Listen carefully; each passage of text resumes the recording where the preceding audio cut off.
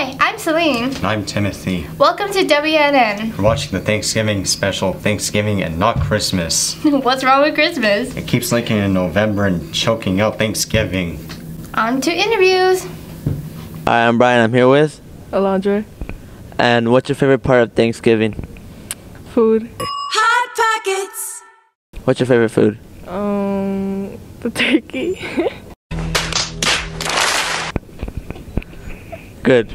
Alright, I'm Brian. I'm here with. Aurelia. And what's your favorite part of Thanksgiving? Um, friends, family, um, the food, obviously.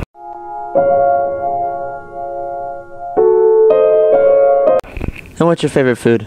Um, mashed potatoes. What?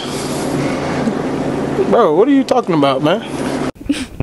Oh, that sounds very delicious. Alright, I'm Brian. I'm here with. Eris. And what's your favorite part of Thanksgiving? Uh, being with my family.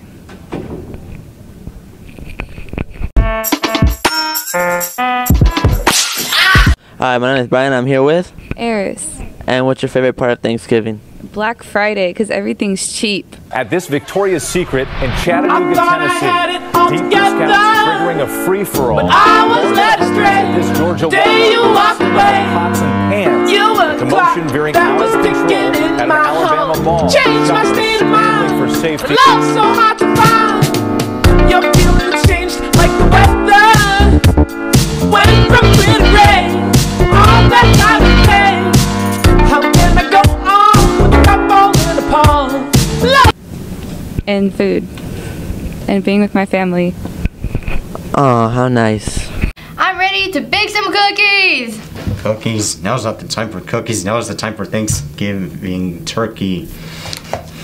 Let's see what people are cooking this season. Are you guys ready for Thanksgiving? Because I'm about to tell you how to make the best turkey in your life, guys. If you guys want the perfect Thanksgiving turkey, make sure to set your oven for 813 degrees. Trust me, it works. Alright guys, step two. If you want that fat, juicy turkey to be seasoned good, salt, pepper, get the oil in the creases. This guy knows what I'm talking about. Alright guys, step three, after you got that turkey all oiled up, seasoned up, put it in the oven for about 12 hours, should be good. Alright guys, after you guys have got it out the oven, make sure it's all oiled up still. Just make sure to cut it up, snap that boy a little bit, should be good for Thanksgiving dinner. Alright guys, that was the last step for the turkey. That's how you cook turkey the right way. Yeah! Commercial break. Hey Westwood, Battle of the Bands is December 10th in the amphitheater. To sign up, make sure you click this QR code or find the link in Canvas. All musicians are excused from class, and all grades are welcome. Hope to see you there. I'd like to take a moment to celebrate the traditions of Thanksgiving. To me, Thanksgiving is all about being thankful for the ones you love, the ones you cherish, the moments you cherish, and, well, your family too. I'm thankful for the family that I have, the one in which we where we discuss the intricacies of our world, respectfully. Black Friday is uh, it's very fun. Black Friday is when we respectfully wait for one another to get their respective items for half off, three fourths off. Yeah. And don't forget about Thanksgiving football. I don't even know how football works. And I think that's about it. Have a happy Thanksgiving, everyone. You know, the point of Thanksgiving is to be thankful, so why not be thankful for Thanksgiving? But Christmas is nice. Mm. Let's see what the teachers think about Thanksgiving. Hi, I'm Gray, and I'm here with. Kim Stone. How would you say you celebrate the Fall Festival or Thanksgiving? In my family, we usually celebrate it as Thanksgiving, and uh, typically we try to get together as a family, which has been more challenging in the last two years. I'm very, very lucky and blessed that both of my daughters live locally here, and because we all contribute to caring for my mom, we all continue to have contact with each other, so we have not had to be quarantined from each other. And so we're very lucky that we still get to spend our time together. This year, I'm particularly thankful for the birth of my second grandson. And a few months ago, he had holes in his heart and went before he was born. The ultrasound showed that, and when he was born, they couldn't find them.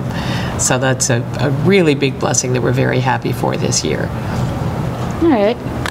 What are things that you're thankful for now that you weren't thankful for two years ago? My husband.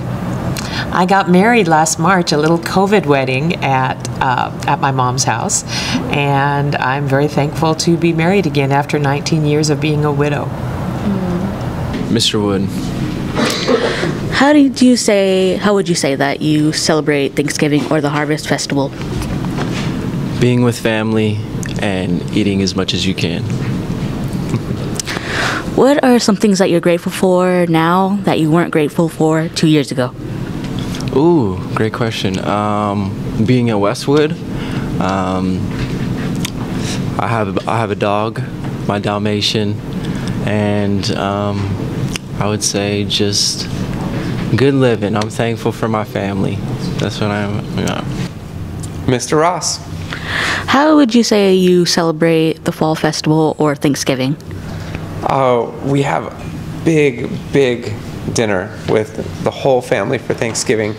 And on Thursday, which is traditionally the Thanksgiving, uh, my whole wife's, my her whole family comes over, and uh, we make a big meal. And then the next day, my family has the tradition of waiting. So like on Friday is when my family has ours, so that we can all still get together and people don't have to make choices or like do Thanksgiving trick or treating when you're like stuffed, but still have to get to that third house. Yeah. All right. What is some What is something that you're thankful for that you weren't think you weren't thankful for two years ago? That you know what it's it's really tough to say because everything that comes to mind is stuff that I was thankful of before. Uh, but you know, I'm just so happy I can be here working with all these awesome people. Uh, you know, we've got such great students, and it was good to have them online, but it's also great to be here with them in person. Thank you for your time. Thanks for watching. I'm Timothy. And I'm Celine. Fear, the, spear.